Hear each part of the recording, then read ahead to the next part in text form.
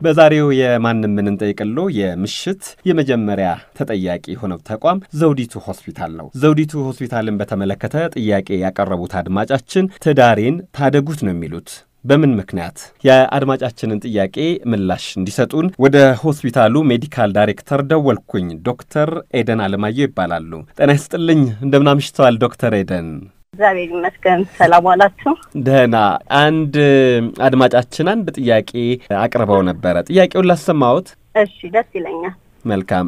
ዳንኤል ከበደ እባላለሁ። ከዚሁ ከአዲስ አበባ ነው። ጥያቄ ምንድን ነው? የምሽት ስራ ላይ ያሉ የሴት ሰራተኞች አሉ እና በመንግስት ሆስፒታሎች ማታ ማታ ሲያድሩ ያው የወንድና የሴቶችን መኝታ አንድ አንድ ክፍል ነው እና በዚህ ምክንያት ያው ትዳር ላይ መጠራጠር ስለተፈጠረ ወደ ፍቺ እየሄድን ነው እየሄድኩ ነው እና ምናልባት የግሉ ጉዳይ እንዳለ ሆኖ የመንግስት ሆስፒታሎች እንዴት ነው የሚያዩት? ሴቶችንና ወንዶችን በስራ ቦታቸው ላይ ለሴክሹዋል ሀራስመንት እንዳይጋለጡ ምን ምን የአሰራር ሁኔታዎችን አመቻችተዋል? ለምሳሌ አሁን የዘውዲቱ ሆስፒታል መውሰድ እንችላለን። አሁን ባልተቤቴ እዛ ነው የምትሰራው እና ያው በስራ ቦታዋ ላይ ብዙ ከወንድ ባልደረቦቿ ሀራስመንት ይደርሳል። ሴክሹዋል ትንኮሳ፣ ጾታዊ ትንኮሳ ይደርስባታል። በመካከላችን ችግር ተፈጠረ እና መንገድ ላይ ነን ያው እንግዲህ ፍቺውን እንትን ለማለት ይህ ምንድን ነው የግለሰብ ባህሪ እንዳለ ሆኖ ግን መስሪያ ቤቶች እንደዚህ ያለውን ነገር ባለማመቻቸታቸው ሰራተኞች እንደዚህ የተጋለጡ ነው።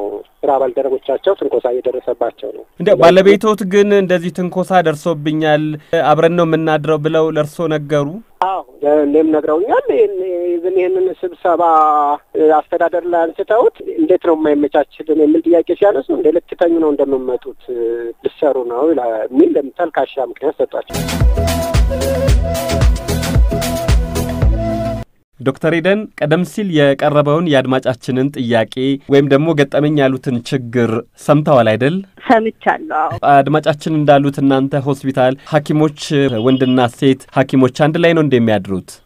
በመጀመሪያ ካልተሳሳትኩኝ ሰለሞን ከበደ ይመስሉኛል ቅሬታ አቅራቢውና ለተፈጠረው ችግር በጣም ይቅርታ መጠየቅ እፈልጋለሁ። ዳንኤል ከበደ ዳንኤል ከበደ በጣም ይቅርታ ለተፈጠረው ችግር ካለው በፊት ላይ ይሰራ የነበረው እንደዛ ነው። አሁን ላይ ግን እየሰራን ያለ ነው እሱን ለማስተካከል ወንድና ሴት የሚለውን ለይተን profession based ሳይሆን ጾታን ያማከለ duty ውም አሁን ላይ ፕላን እያደረግን እና ወደዛ መስመር እየገባን ነው።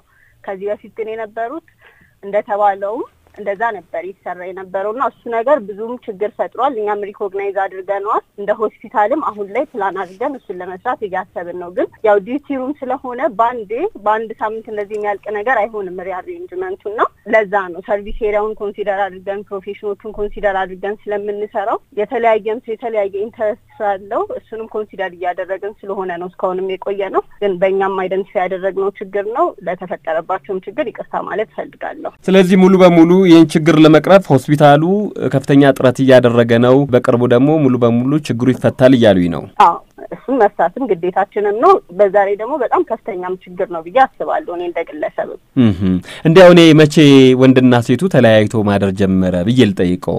አንድ ወር ብትሰጠኝ ደስ ይለኛል። እሺ፣ ልክ የዛሬ ወር ደውሎታለሁ።